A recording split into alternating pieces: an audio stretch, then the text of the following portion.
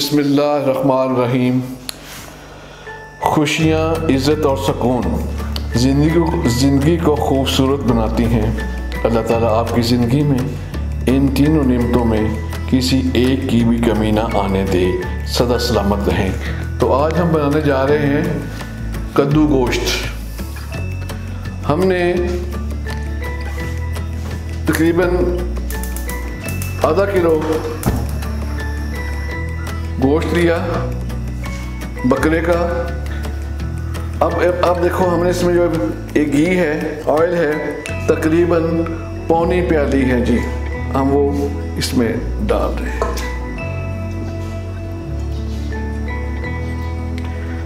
और साथ ही हम तकरीबन दरमियाने साइज़ के दो प्याज छोटे छोटे से दरमियाने साइज़ के, वो काट के वो इसमें डाल रहे हैं, घी में। थोड़ा सा ये ब्राउन हो जाए हल्का हल्का साथ ही हमने चार, तकरीबन चार टीस्पून अदरक की और लहसुन की पेस्ट है, वो इसमें डाल रहे हैं।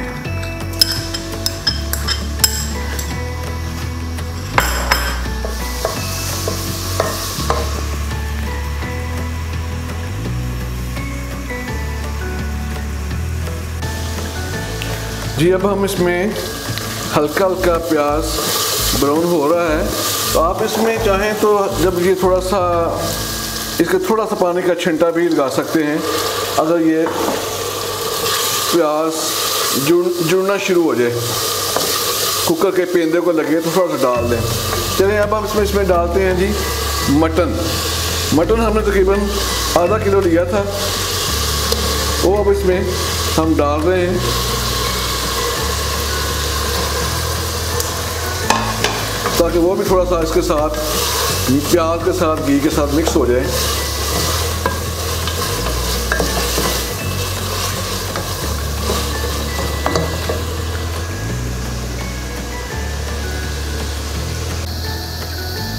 अब हमने ढक्कन बंद कर दिया है और चार से पाँच मिनट हम प्रेशर लगाएँगे इसको। और प्रेशर शुरू हो चुका है।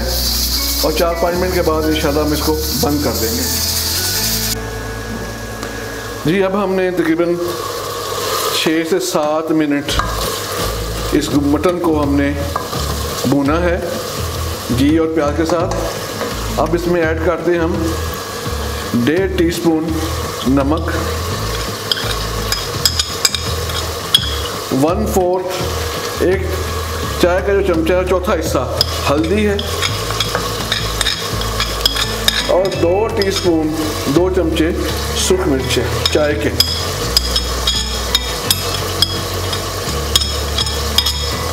आप लोग इसको कम भी कर सकते हैं, ज़्यादा भी कर सकते हैं, जैसे आप, आपका अकॉर्डिंग योर टेस्ट जैसे आपका टेस्ट है, वैसे कर लें।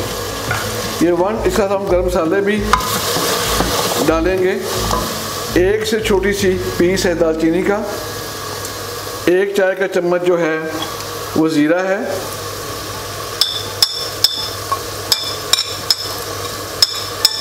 सात से आठ काली छो, छोटी काली मिर्चें हैं साबत।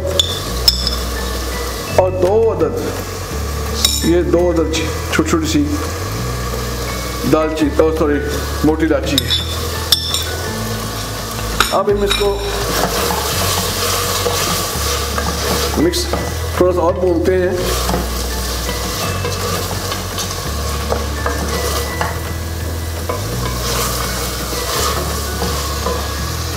दिखाएँ जी।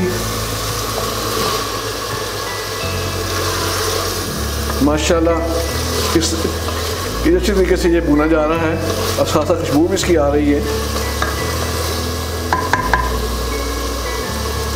अब हम इसमें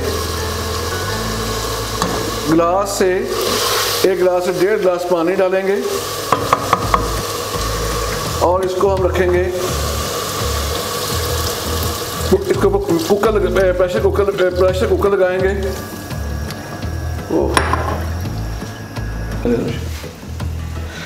बिस्मिल्लाहिर्रहमानिर्रहीम। अब गोश्त जो है वो, माशाल्लाह हल्का हल्का भुना गया है। हल्का हल्का उसने घी छोड़ दिया है। अब इसमें हम डालते हैं टमाटर की पेस्ट।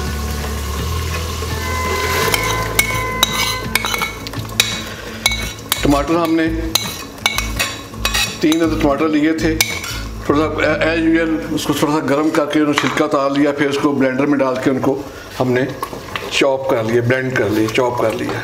ठीक है जी? तो वो हम जब ये जो गोश्त है, भूना भून जाएगा, इसके बाद भूनने की कोशिश करेंगे, इसके साथ भून जाएगा तो फिर उसके बाद, भूनने के बाद फिर हम इसके अंदर ये कद्दू है, कटा हुआ सब्ज़ी, ये इसमें डाल के एक गिलास पानी डाल देंगे और हल्की आँच पे इसको छोड़ देंगे।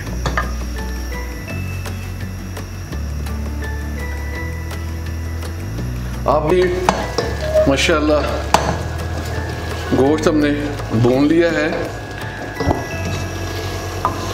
ये देखिए जिसका कलर माशाल्लाह बड़ा खूबसूरत है। अब हम इसमें डालते हैं जी ये कद्दू। हमने कद्दू है तकरीबन एक दरमियानी साइज़ का हमने कद्दू लिया था। वो हमने छीलने के बाद उसको डाल दिया इसमें। तो इसमें हल्का सा पानी डालें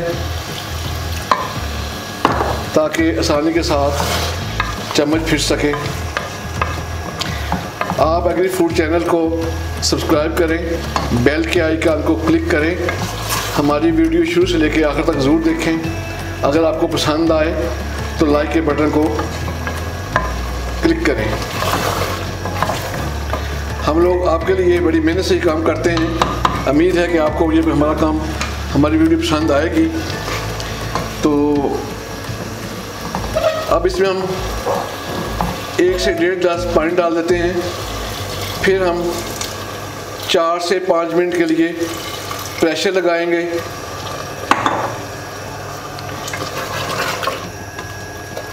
चार से पाँच मिनट के लिए प्रेशर लगाएँगे। तो उसके बाद इसका हम ढकना खोलेंगे। फिर आपको दिखाएँगे इसमें खाना कैसा बना है। और साथ ही हमने ये सब मिर्च है, वो भी डाल देंगे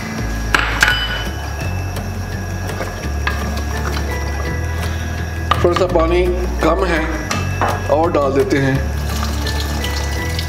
क्योंकि पानी ने खुश्क भी होना है और थोड़ा सा ये जो टिंडे हैं और गोश्त है, इसमें हल्की सी ग्रेवी भी होगी।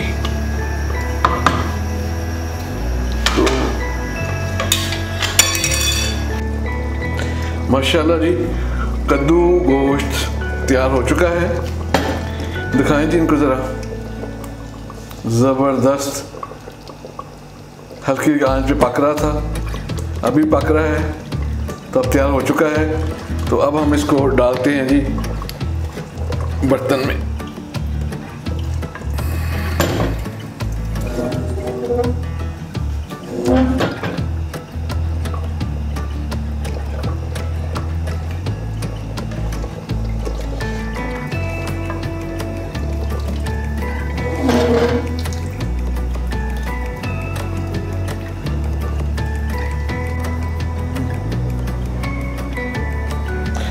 जी, माशाल्लाह। ज़बरदस्त। सालन तैयार हुआ है। कद्दू गोश्त। तो थोड़ा सा मैं I am sorry for that कि पिछ चंद दिन पहले मैं इसको कद्दू की जगह टिंडा क्या गया था, मैं इसलिए मदद चाहता हूँ। तो अब हम इसको गार्निशिंग करते हैं जी। इसके ऊपर डालते हैं जी ब्रीक ब्रीक कटी हुई अदरक। ये देखें जी। ज़बरदस्त खुशबू आ रही है, ज़बरदस्त, माशाल्लाह है। अब प्रोग्राम का टाइम ख़त्म हो रहा है। इन ताला हम नेक्स्ट टाइम एक अच्छी वीडियो के साथ फिर हाजिर होंगे। तो चलते चलते हमारा किनारा है, पाक फौज जिंदाबाद, पाकिस्तान पाइंदाबाद। अपना बहुत ढेर सारा ख्याल रखिएगा। थैंक यू फॉर वॉचिंग अल्लाह हाफिज़।